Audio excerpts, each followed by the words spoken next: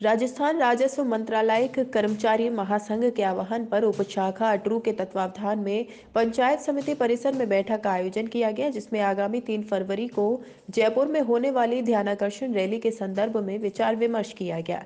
तथा समस्त विभाग के मंत्रालय कर्मचारियों ने बैठक में भाग लिया। व सर्वसम्मति से ध्यानाकर्षण रैली में भाग लेने की सहमति जताई।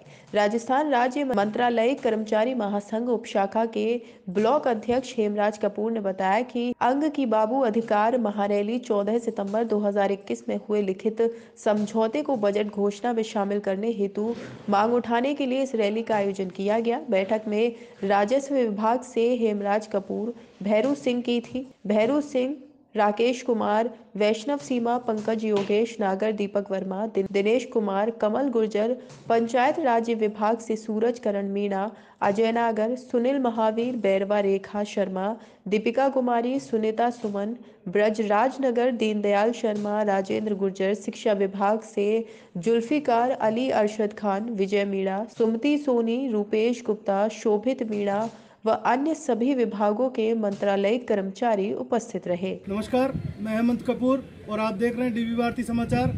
आज हम खड़े हैं पंचायत समिति सभागार अटरू में, जहाँ पर राज्य राजस्थान राज्य मंत्रालय कर्मचारी महासंघ की आह्वान पर ये मंत्रालय कर्मचारियों की बजट पूर्ण, पूर्व ध्यान आकर्षण महारैली है, जिसको दिखा रहे हैं और बात करेंगे कर्मचारियों से।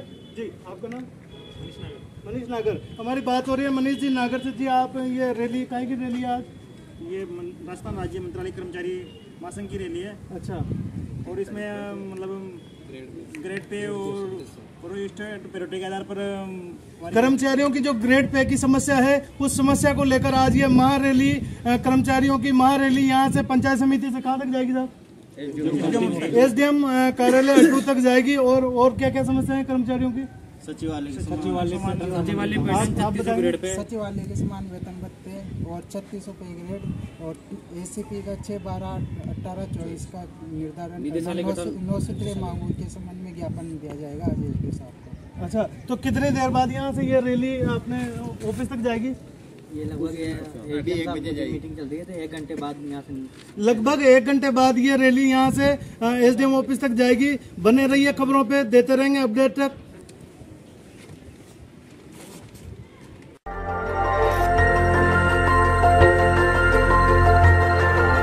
देखते रहिए डीबी भारती समाचार नज़र हर खबर पर।